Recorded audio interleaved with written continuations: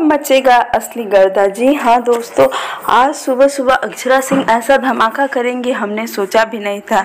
आप सभी को बता दूँ कि आ चुका है अक्षरा सिंह और राकेश मिश्रा का गाना और आते ही ऐसा बवाल मचाया है कि इस जोड़ी ने कह सकते हैं कि झंडे गाड़ दिए हैं। पूरा वीडियो देखे और सबके लिए खतरे की घंटी है वीडियो। अच्छा लगे तो लाइक, शेयर, कमेंट करना बिल्कुल भी ना भूलें।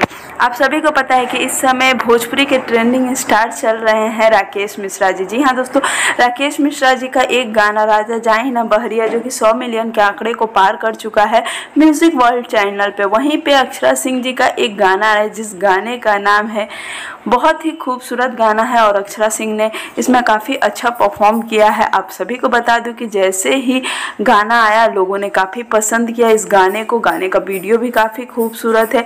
ओवरऑल देखा जाए तो गाना पूरी तरह से लोगों को अपने तरफ़ आकर्षित कर रहा है। गाने का नाम है कि करी न बलम जी मनमानी और गाने में अक्षरा सिंह और राकेश मिश्रा जी ने पूरी तरह से जान डाल दिया है। वैसे तो स्वर अक्षरा सिंह जी का है, राकेश मिश्रा जी इसमें डायलॉग बोले हैं। लेकिन आपको बता दूँ कि अभी तक गाने का व्यूज़ उतना ज़्यादा नहीं गया है जितना ज़्यादा जाना चाहिए। चार घंटे में चौबीस हज़ार व्यूज़ गए हैं।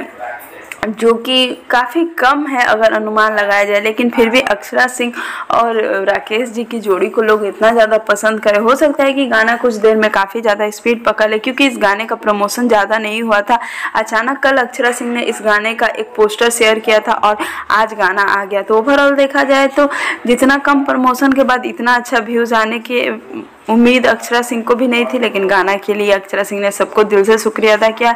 और आपसे यही कहूँगी कि अभी तक आपने गाना नहीं सुना है तो जाकर सुने और गाने को लाइक करना बिल्कुल भी ना भूलें।